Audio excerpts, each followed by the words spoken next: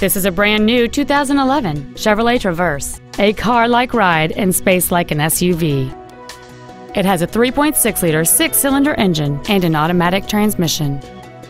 Its top features include heater vents for rear-seated passengers, an auto-dimming rearview mirror, a keyless entry system, a CD player, an illuminated driver's side vanity mirror, privacy glass, traction control and stability control systems, an anti-lock braking system, rear curtain airbags, and cruise control.